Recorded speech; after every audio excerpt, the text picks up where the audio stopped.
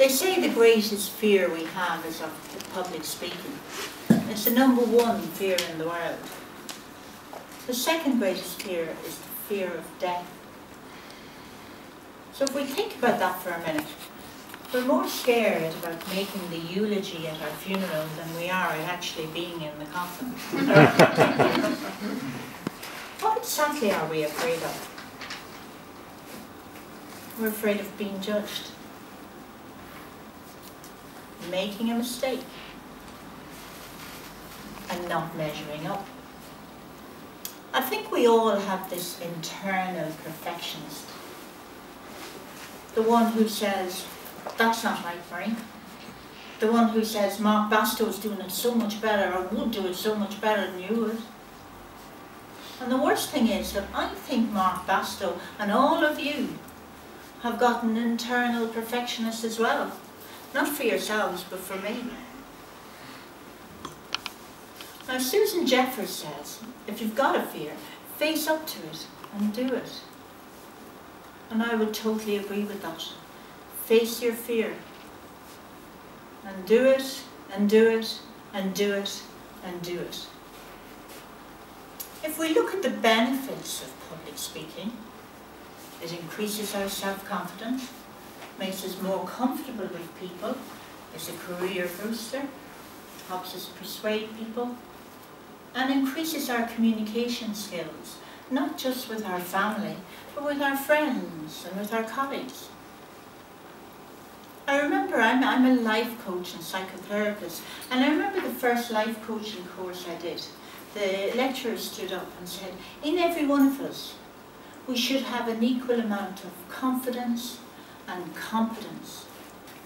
And if you imagine the old-fashioned balance, they should balance like that. But the hardest thing to teach in the whole world is confidence. And public speaking is a way of teaching yourself that. Learning how to become an effective public speaker is the key factor between success and failure. If you just think about that, it's the key factor between success and failure. In your life, in your, at your home, at work, and in the community. It's a big claim. What is it that we're so, so afraid of standing up? We're afraid because of the jitters, the nerves, the bad butterflies. And they're the hardest to hide. For me personally, there was where I had to begin. I could stand, in a former life I was a teacher, and I could stand in front of how many children, didn't matter. But put in one adult there and I went to pieces. And I remember well the day I decided I had to do something about it. I was doing the sports league as I always did at work. And it came to presenting the medals time. Now try and picture this, a small hall with 470 children in it. And Meree standing at the top with all the medals ready to go and a little bit to say about everybody who had won it. No problem, 470 kids, pile them in, no problem. But the 34 adults that stood around the wall, I went to pieces, and I mean literally to pieces. My legs went shaking, my body shook, my head, my neck, my, my hands, the piece of paper I had in my hand. I had asked two members of the staff that I really, really trusted to give me some feedback on my presentation. And these were two adults that I totally trusted. So as I was standing up there feeling, oh my God, I'd really gone to pieces, afterwards I went to each of the adults and they told me my presentation was fabulous. There wasn't a sound in the room. How did I keep everything so quiet? 470 children and they were all glued to me. But how were my nerves, I said.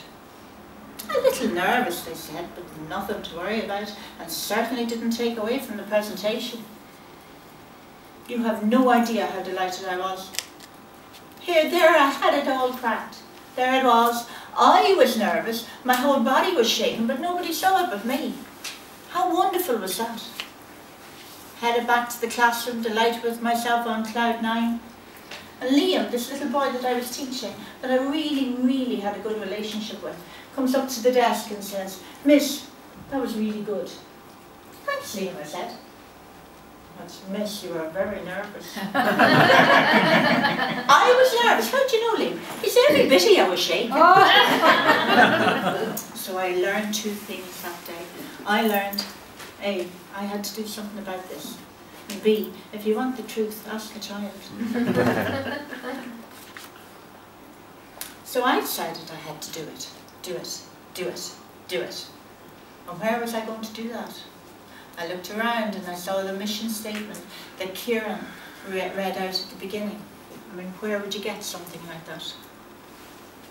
Every individual member has the opportunity to develop oral communication and leadership skills, which in turn foster self-confidence and personal growth. And when a child is learning to walk, when a child is learning to walk, when he falls 50 or 60 or 80 times, he doesn't think to himself, hey, that's not for me. So the journey in Toastmasters has been a long one for me. But look, no shakes. I'm here, I've practiced, but I will stay going. And I would totally recommend joining a Toastmasters club for everyone. There's one near you.